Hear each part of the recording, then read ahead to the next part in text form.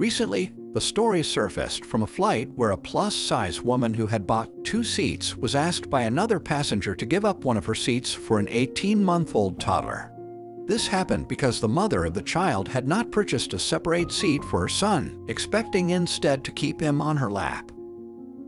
Everything seemed smooth until the mother approached the woman, demanding rather than asking that she consolidate into one seat to free up space for the toddler. The woman refused, explaining she had purchased the extra seat to ensure her comfort during the long flight. The flight attendant got involved, ultimately instructing the mother to keep her child on her lap, which led to several hours of unpleasant looks and comments directed the woman who paid for two seats. The woman took to Reddit to share her experience, sparking a huge online discussion. The majority supported her right to the seat she paid for, criticizing the entitled attitude of the demanding mother. Comments pointed out that if space was a concern, the mother should have booked it in advance.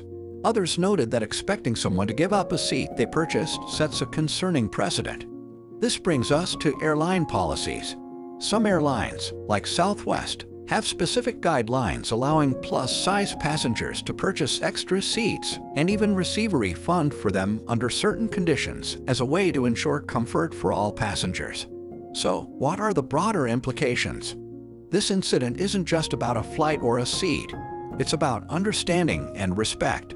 It's about the challenges plus-size travelers face and the need for clear policies that support all passengers. As we wrap up today's episode, let's think about the kindness and empathy we owe each other, especially in confined spaces like an airplane. What do you think? Should there be more clear-cut policies, or is this just a case of common courtesy? Thanks for tuning in. Don't forget to like, subscribe, and hit that notification bell to stay updated on all our latest content.